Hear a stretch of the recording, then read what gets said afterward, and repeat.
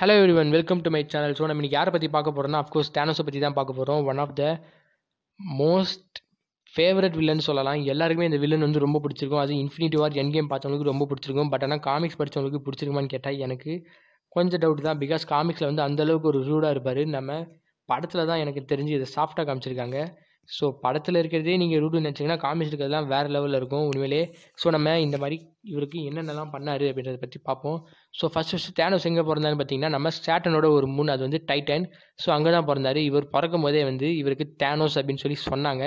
சொன்ன அடுத்த நிமிஷமே வந்து மொத்த இடமும் வந்து ஒரு மாதிரி மாற ஆரம்பிச்சது. ஸோ நிச்சயமாக இவன் வந்து அரக்கன் தான். இவன் நல்லவன் இல்லை அப்படின்னு சொல்லி தேனோஸை பற்றி சொன்னாங்க.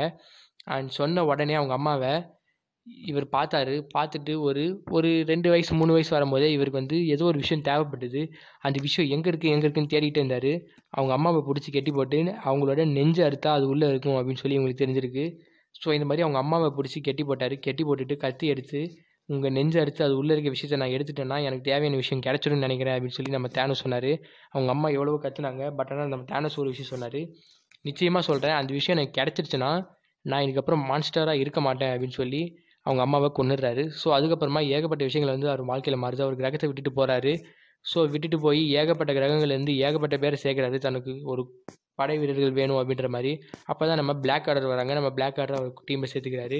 இந்த மாதிரி ஏகப்பட்ட விஷயங்கள் வந்து அவர் பண்ணுறாரு பண்ணிக்கிட்டு இருக்கும்போதே ஒரு ஸ்டேஜில் வந்து பார்த்திங்கன்னா இவருக்கு வந்து ஒரு நோய் வருது. அந்த நோய் வந்ததுக்கப்புறமா இவரால் குணப்படுத்த முடியாதுன்னு அது தெரியும். ஸோ வந்து இருக்கிற போகிறவங்க வரவங்க எல்லாருமே வந்து தேனோஸ்ட்டை அந்த நேரத்தில் தான் வந்து சண்டை போடுறாங்க. ஸோ சண்டை போட்டு இந்த மாதிரி நம்ம கார்வஸ் கிளேவ் வந்து தேனோஸ் எடுத்து நிற்கிறாரு கார்வஸ் கிளேவ் வந்து தனியாக ஒரு படையை தட்டி இது வரைக்கும் தேனோஸ் பண்ண எல்லா விஷயத்தையும் அவரே பண்ணி அதாவது தேனோஸ் இது வரைக்கும் ஆட்சி செஞ்சிருந்த இடத்தெல்லாம் அவர் பிடிச்சிக்கிறாரு. ஸோ நம்ம தேனோஸ் வந்து எதுவுமே பண்ண முடியாத ஒரு நிலமையில வந்து அவர் தனியாக இருக்காங்க. ஸோ இந்த மாதிரி தேனோஸ் வந்து இந்த மருந்துக்கான இந்த நோய்க்கான மருந்து வந்து யார்கிட்ட இருக்குன்னு எனக்கு தெரியும் அப்படின்னு சொல்லி அவங்க அப்பாவை போய் பார்க்குறாரு. அவங்க அப்பாவை போய் பார்க்கும்போது தேனஸோட அப்பா இருந்துட்டு நீ ஒரு மிருகம் உன்னால தான் என்னோட ஒய்ஃப் செத்தா இன்றைக்கி நான் மருந்து தரதா இல்லை? அப்படின்னு சொல்லி கேட்க நான் உன் பையன் எனக்கு நீ மருந்து தா அப்படின்னு சொல்லி நம்ம தேனஸ் கேட்குறாரு.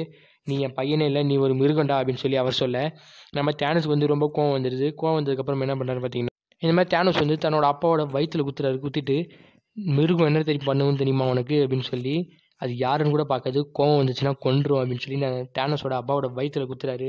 ஸோ அவர் குத்துன குத்துல இந்த கை வந்து வயிறு வழியாக போய் முதுகு வழியாக வந்துடுது அப்படியே உருவி போட்டு அங்கே போட்டுட்டு வந்துடுறாரு நம்ம தேனோஸ் ஸோ அதுக்கப்புறமா என்ன இருக்குது பார்த்தீங்கன்னா அந்த நோய்க்கான மருந்து அவருக்கு கிடைக்கிது. ஸோ அது கொஞ்சம் கொஞ்சமாக குணமாயிடுது. அது எப்போன்னு பார்த்தீங்கன்னா நம்ம தேனோஸ் வந்து ஒரு குவாரிக்குள்ளே போகிறாரு அந்த குவாரி இருக்கிறதே வந்து ஏகப்பட்ட பேருக்கு தெரியாது. பட் அந்த கே அந்த குவாரி உள்ள ஒன்ஸ் நீங்கள் போயிட்டு வந்துட்டிங்கன்னா மார்வல் யூனிவர்ஸ்லேயே வந்து நீங்கள் தான் பவர் உங்களை கொல்லவே முடியாது. அதாவது உங்களுக்கு சாவன்ற விஷயமே இருக்காது.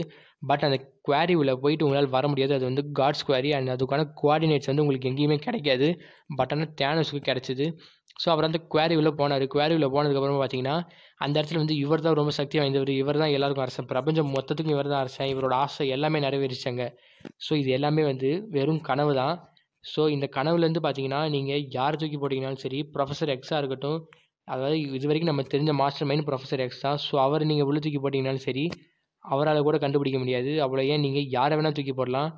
நீங்கள் கேப்டன் அமெரிக்கா கேப்டன் அமெரிக்காவுக்கு வந்து ரியாலிட்டிக்கும் இதுக்கும் டிஃப்ரென்ஸ் இருக்குது ஸோ யாராலையுமே கண்டுபிடிக்க முடியாது. அந்தளவுக்கு ஒரு பவர்ஃபுல்லான ஒரு இடம் தான் அந்த காட்ஸ் குவாரி ஸோ அந்த குவாரியில் ஒன்ஸ் நீங்கள் போயிட்டீங்கன்னா நீங்கள் வெளியில் வர முடியாது. பிகாஸ் நீங்கள் வெளியில் வந்த மாதிரி அந்த குவாரியில் ஒரு இமேஜ் உங்களுக்கு தரும். பட் ஆனால் நீங்கள் உண்மையிலேயே வெளில வந்திருக்க மாட்டீங்க. ஸோ இந்த மாதிரி நம்ம தேனஸ் வந்து நம்ம எல்லாத்தையும் ஆட்சி பண்ணுறோம் அப்படின்ற மாதிரி அவருக்கு தோணுது. பட் ஆனால் டேனோஸுக்கு வந்து தெரியுது இது வந்து பொய் அப்படின்னு சொல்லி தெரியுது. ஸோ அடுத்த செகண்ட் அந்த குவாரியை உடச்சிட்டு வெளில வராரு. வெளில வந்து இதுதான் உண்மை அப்படின்னு சொல்லிட்டு நம்ம தேனோஸ் வெளில வந்து பார்க்குறாரு ஸோ இதுக்கப்புறமாவே பார்த்தீங்கன்னா அவருக்கு அந்த நோயெல்லாம் சரியாயிடுது நம்ம தேனோஸை அழிக்க முடியாது. அந்த அளவுக்கு சக்தியும் ஆயிடுது இவர் தேனோஸ்க்கு. பிகாஸ் அந்த குவாரியில் ஒன்ஸ் போயிட்டு வந்தாலே உங்களுக்கு அவ்வளோ பவர் கிடச்சிடும் அதுக்கப்புறமா நம்ம பிளாக் ஆர்டரை போய் பார்க்குறாரு நம்ம காரோஸ்லேவை பார்த்ததும் நம்ம காரோஸ்லே வந்து கண்டிப்பாக தேனோஸ் நம்மளை கொண்டுருவான்னு தெரியும். ஸோ அதனால் கீழே இருக்க ஒரு கண்ணாடி பீஸ் எடுத்து அவரே எடுத்துகிட்டு செத்து போயிடுறாரு. ஸோ அதுக்கப்புறமா வந்து தேனஸ்க்கு வந்து பவர் தேவைப்பட்டுச்சு. ஒவ்வொரு பவராக தேடினார். ஃபஸ்ட்டு இன்ஃபினிட்டி ஸ்டோன்ஸ் எடுத்தார். இன்ஃபினிட்டி ஸ்டோனில் இருக்க பவர் வந்து அவருக்கு சுத்தமாக பத்தலை. பிகாஸ் அது வந்து ஃபஸ்ட்டு அவருக்கு பெருசாக தெரிஞ்சுது. எப்படி சொல்லுது நீங்கள் இப்போ எங்கேயாவது ஒரு இடத்துக்கு சாப்பிட போகிறீங்கன்னா ஸோ அந்த இடத்துல வந்து ஒரு சாப்பாடு வந்து பெருசாக தெரியும். தோ ஃபஸ்ட் ஃபஸ்ட்டு சாப்பிட போகும்போது தோசை உங்களுக்கு பெருசாக தெரியும். பட் ஆனால் அதுக்கு அடுத்து போகும்போது பூரி பெருசாக தெரியும். அதுக்கடுத்து பரோட்டா பெருசாக தெரியும். ஸோ இந்த மாதிரி உங்களோட தாட்ஸ் வந்து மாறிக்கிட்டே இருக்கும். ஸோ அதே மாதிரி நம்ம தேனோஸ்க்கு பவர்ஸ் வந்து இது பவரே இல்லை இதை விட எனக்கு பவர் அதிகமாக வேணும் இது பவர் இல்லை இதை விட எனக்கு பவர் அதிகமாக வேணும் அப்படின்னு சொல்லி நம்ம தேனோஸ் சுற்றிக்கிட்டே இருந்தார். ஸோ இந்த மாதிரி ஃபஸ்ட் ஃபஸ்ட்டு எடுத்தது இன்ஃபினிட்டி ஸ்டோன்ஸ் தான். இன்ஃபினிட்டி ஸ்டோன்ஸ் எடுத்து அதுக்காக ஏகப்பட்ட பேர் அழிச்சார் அழித்து எடுத்து வச்சுருந்தாரு. பட் ஆனால் அது பவர் வந்து அவருக்கு பத்தலை. ஸோ அதுக்காக இன்னொரு பவரை தேடினார். ஸோ இது வந்து ஒரு பார்ட் ஒன் தான். நம்ம பார்ட் டூவில் தேனோஸை பற்றி மிச்ச பாதியை பார்க்கலாம். Thank you everyone thanks for வாட்சிங் ஸோ மறக்காமல் சப்ஸ்கிரைப் பண்ணிடுங்க நோட்டிஃபிகேஷன் ஆன் பண்ணிடுங்க. ஷேர் பண்ணுங்கள் அண்ட் கீழே வாட்ஸ் குரூப் வாட்ஸ்அப் குரூப்போட லிங்க் இருக்குது வேணும்னு நினச்சிங்கன்னா ஜாயின் பண்ணிக்கலாம். அண்ட் லைக் போடுங்க ஷேர் பண்ணுங்கள் கமெண்ட் பண்ணுங்கள் thank you guys bye everyone this is Tamil superheroes